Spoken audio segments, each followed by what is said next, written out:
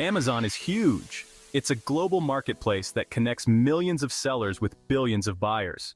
Over 2 billion people shop on Amazon every year, making it one of the largest online shopping platforms in the world. That's a lot of packages being shipped out daily, each one containing items that people are eagerly waiting for. But sometimes, those packages aren't quite right. Maybe the item isn't what you expected or it arrives damaged. Perhaps the shirt doesn't fit as you hoped or the electronic gadget you ordered arrives broken. That's where refunds come in. Amazon has a system in place to handle these issues efficiently. Knowing how to get a refund is important.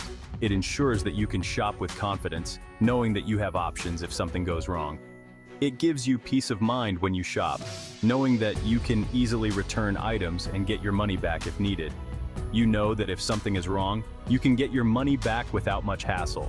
This makes the shopping experience much more enjoyable. Amazon wants you to be happy with your purchases. They strive to provide excellent customer service to ensure satisfaction.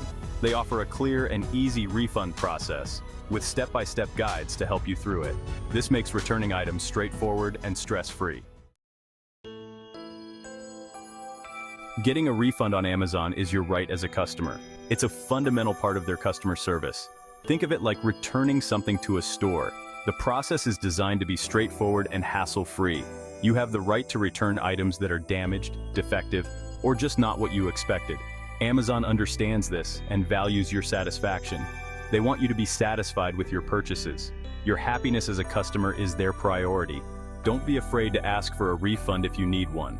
Amazon makes it simple and convenient. You can do it all online, without even talking to anyone. The entire process can be completed with just a few clicks. This makes the process quick and easy.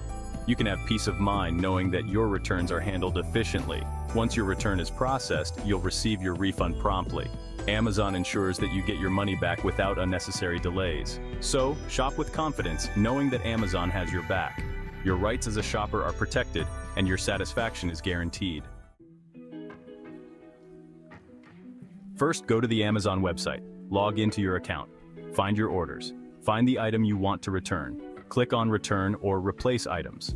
Choose the reason for your return. Select how you want to send the item back. Amazon will give you a return label. Pack the item carefully. Put the label on the box. Ship it back. Amazon will give you your money back once they get the item. Section 4. Time is money. How long does a refund take? Refunds usually take three to five business days to process. This is after Amazon gets the item back. Sometimes it can take a bit longer, but Amazon tries to be quick. They know you want your money back as soon as possible. If you haven't received your refund after a week, contact Amazon. They can check on the status of your refund. Amazon's customer service is available 24-7 to help you. Section 5. Smooth Returns Tips for a hassle-free experience. Returning items can sometimes be a hassle, but with a few simple steps you can make the process much smoother and stress-free. Keep your boxes and packaging for a while after you get something. It's always a good idea to hold on to the original packaging and boxes for at least a few weeks.